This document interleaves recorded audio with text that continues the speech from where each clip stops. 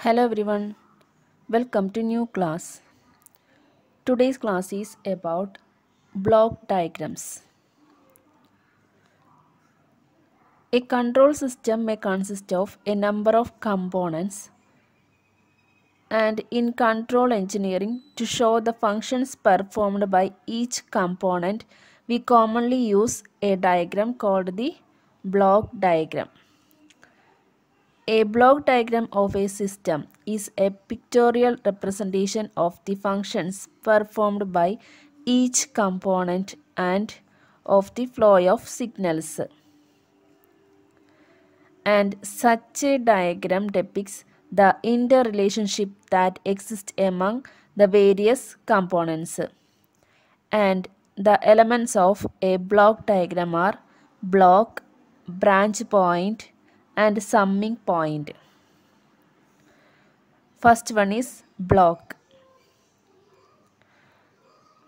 In a block diagram, all system variables are linked to each other through the functional blocks. The functional block or simply block is a symbol for the mathematical operation on the input signals to the block that produces the output. The transfer function of the components are usually entered in the corresponding blocks. So this is a functional block. So here the transfer function of the components are usually entered in the corresponding blocks and which are connected by arrows to indicate the direction of flow of signals. The arrowhead pointing towards the block indicates the input and the arrowhead leading away from the block represent the output. Such arrows are referred to as signals.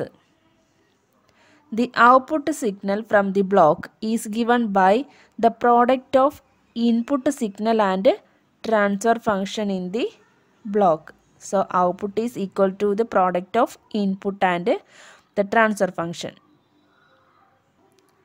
Next is summing point. Summing points are used to add two or more signals in the system. So a summing point consists of a circle with a cross and plus or minus sign at each arrowhead indicate whether the signal is to be added or subtracted and it is important that the quantities being added or subtracted have the same dimensions and same units. So a summing point is represented by a circle with a cross. Next is branch point. A branch point is a point from which the signal from a block goes concurrently to other blocks or summing points. So this is a branch point from which the signal from a block goes concurrently to other blocks or summing points.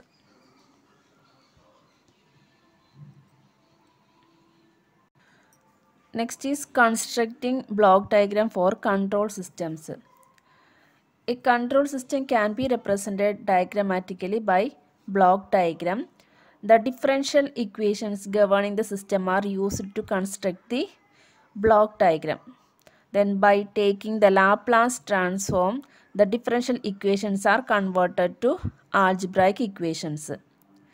The equations will have input and output variables and also constants and from the knowledge of the uh, system the input and output variables are identified and the block diagram for each equation can be drawn Each equation gives one section of the block diagram and the output of one section will be input for another section.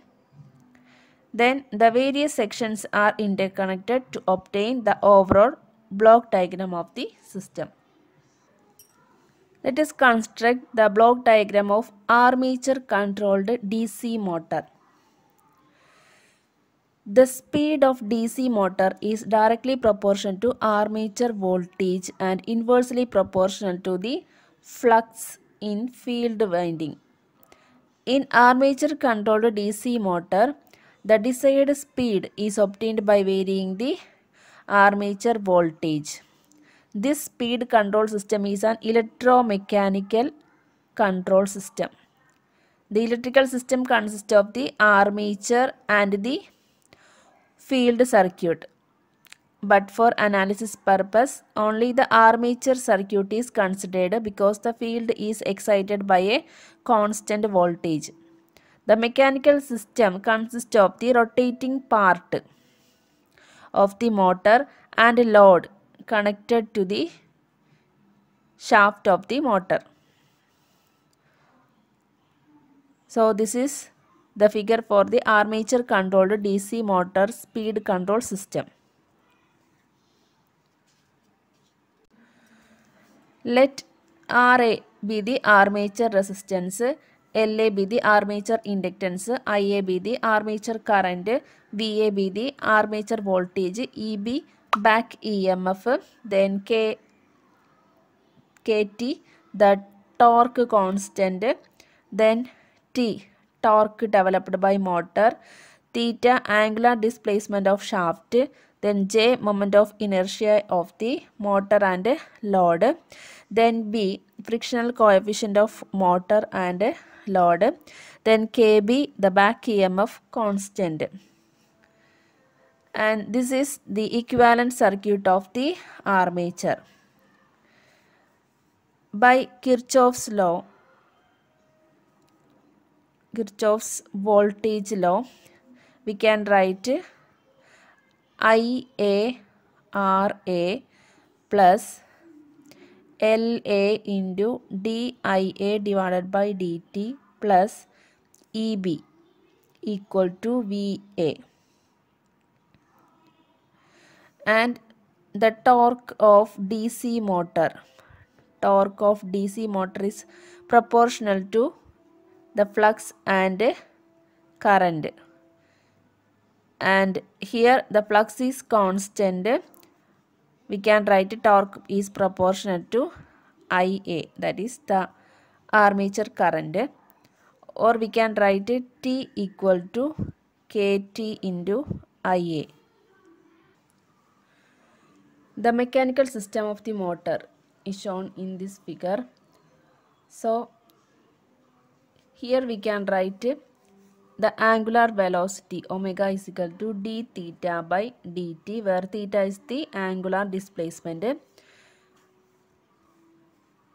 and we can write the differential equation that is by applying the Newton's second law we can write T is the applied torque and opposing torques are due to this moment of inertia and this dashpot. So we can write J into d square theta divided by dt square plus b into d theta by dt equal to t. Or we can write J into omega d omega by dt plus b into omega equal to t. And the back EMF back EMF of the DC machine is proportional to the speed of the shaft that is d theta by dt or we can write EB is proportional to omega. And we can write EB equal to KB into omega. where kb is the back emf constant. So we have this is our first equation.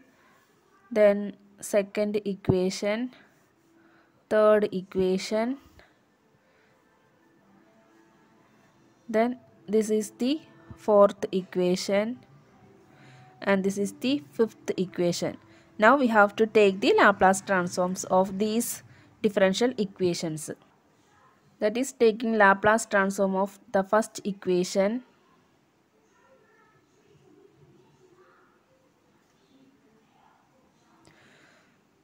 So here ia of s into ra because this resistance is constant. Then plus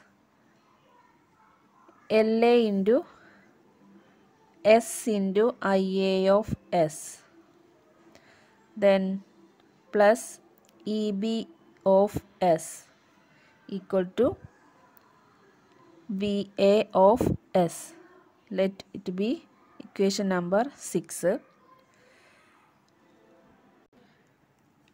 and here we can write IA of S into RA plus LA into S equal to VA of S minus EB of S.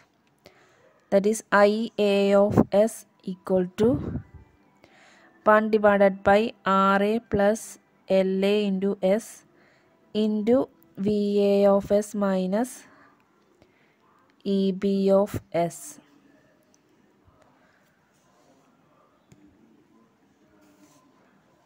And here we can draw the block diagram. That is, this is the transfer function and there will be a summing point with the signals VA and EB and this is the output. So we can draw like this. So VA then minus EB then the transfer function. So this is the transfer function. 1 divided by RA plus LAS then output IA of S. So this is the block diagram for the first equation. Now we can consider the second equation that is T equal to KTIA. So while taking the Laplace transform for the second equation we get T of S equal to KT into IA of S. and here we can draw that is kt is the transfer function. Input is ia of s then the output is t of s. Now we can consider the third equation that is omega is equal to d, um, d theta by dt. So while taking the laplace transform we can write omega of s equal to s into theta of s. And here we can write theta of s equal to 1 by s into omega of s. So here 1 by s is the transfer function and input is the omega s then output is theta of s. Because our output is the angular displacement. Now the second equation is t is equal to j into d omega by dt plus b omega and by taking the Laplace transform we get t of s equal to j into s into omega of s plus b into omega of s and we can write j into s plus b into omega i of s. And we can write omega is equal to 1 by j s plus b into t of s. And we can draw like this. That is 1 by js plus b. Input is t of s and output is omega i of s and the last equation is eb equal to kb into omega. And by taking the Laplace transform we get eb of s equal to kb into omega I of s. And we can draw the block diagram kb as the transfer function. Input is omega I of s output is eb of s. Now we can combine all the block diagrams. So input is va of s plus then minus here eb eb of s then here 1 by ra plus l la into s. So this is ia of s. Then next is kt next is this is t of s then 1 divided by js plus b output is omega i of s. Then omega i of s into kb we have to take so this is kb so this is omega i of s and here output is eb of s then again the last block diagram is 1 by s. Output is theta of s. So this is the block diagram of armature controlled DC motor. Armature controlled DC motor so in this way we are constructing the block diagrams. So thank you for watching the class.